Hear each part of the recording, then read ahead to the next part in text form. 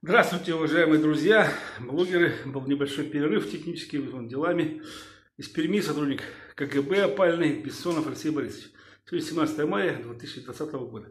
Друзья мои, ну вот, а, сегодня прошла такая информация, что предъявили Анатолию Быкову обвинение в совершении убийства, 102 ну там сроки давности будут, там 78-я, ну и вот пишут, что причиной-то была не то, что он когда совершал, а они что, не знали, что там, что творилось в 90-е годы, как, как захватывались предприятия? Да по всем городам бегали банды. Я уже вам рассказывал миллионы раз, что начальник ФСБ местного вызывал предпринимателей и говорил, у нас здесь Перми, что мне предприниматели рассказывали, вы им платите, иначе они убивать будут. То есть фактически пособничал 210-й.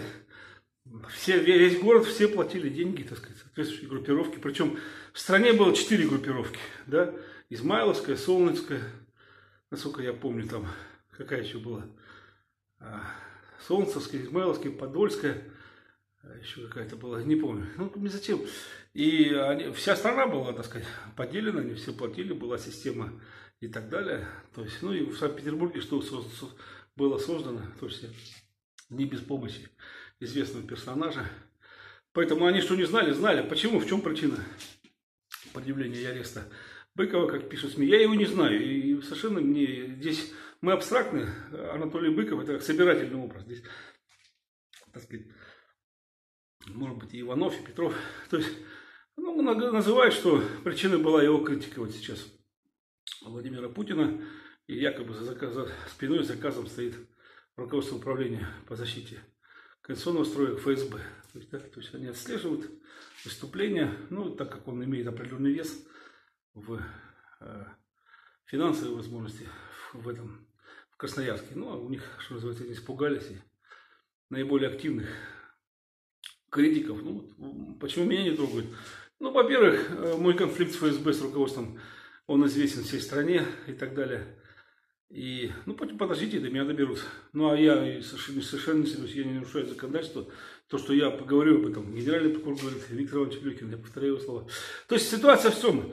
Ситуация правовой паузы в стране. Ведь, собственно, мы выходили, правительство Примакова, я вам уже рассказывал, Маслюкова, они выходили на вывод страны из кризиса. Да? Не случайно Илюхин собирал в Нижней палате генеральный прокурор а, всех юристов и квалифицировали действия Ельцина по статье геноцид. Геноцид, еще раз, не попадает под сроки давности. Вот во Франции сейчас, в Руанда, диктатор Руанды был задержан через 26 лет – не, не, не попадает, все там будут разбираться. Но на 19 миллионов населения сократили страны в результате этих реформ. И, в общем-то, э, Ельцин пытался одного дать гарантии. Вот они нашли этого Путина, и первый закон он принял, внес в Думу, это гарантия президента и так далее. Ну а дальше-то что? Курс же не менялся, вспомните. Касьянова с его процентной ставкой, Миша 2%. Ну там нефть была 140, ему дали передышку, а дальше Сейчас начинается все заново. 90-е годы покажутся... Почему? Потому что плохо или хорошо, там была еще советская промышленность. А сегодня уже нет ничего, уже снова сокращение зарплат, увольнение, они заговорили о том, что пенсии не будут платить. Это говорит, причем вице-спикер Володин, это не, не, не, не на кухне бабка говорит, это он говорит, что не исключая возможность дефолта. То есть фактически дефолт, они ведут к дефолту. Но если 80% нефть, а нефть сегодня 0% дохода, как вы хотите, откуда? Надо же работать, а работать кто? Вспомните, что творилась здесь приватизация, она была признана геноцидом и так далее.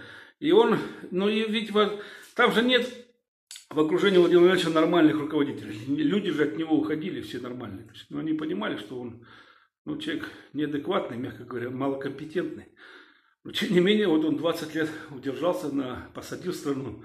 Его предупреждали, ему говорили – но сейчас ужас, сейчас все уже разбегаются от него, убегают.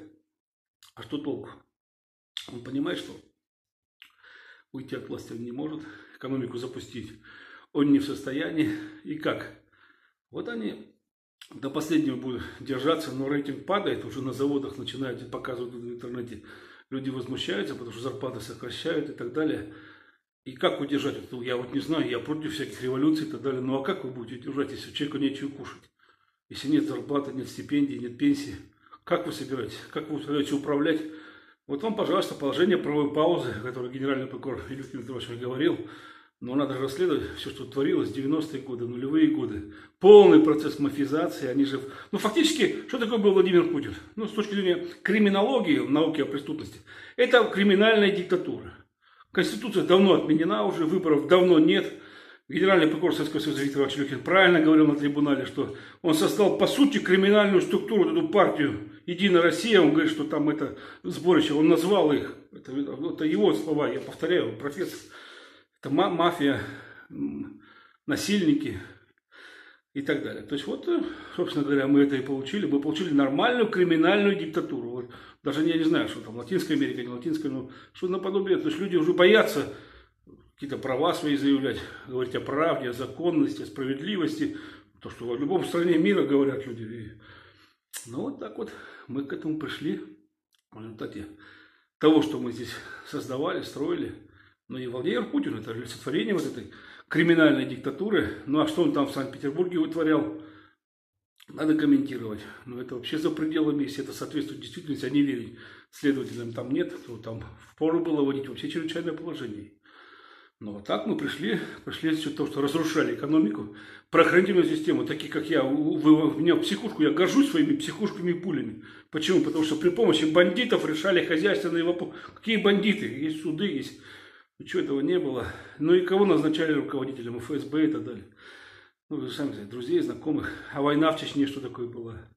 120 тысяч убитых и раненых. Геноцид не попадает по сроки давности. Поэтому те, кто думает, что сотрясаем мы воздух и так далее, напрасно думайте. Мы, мы вернемся еще к этому. И впереди все очень здорово и весело. В том числе и процессы будут. А как иначе? Как выходить из тупика полного?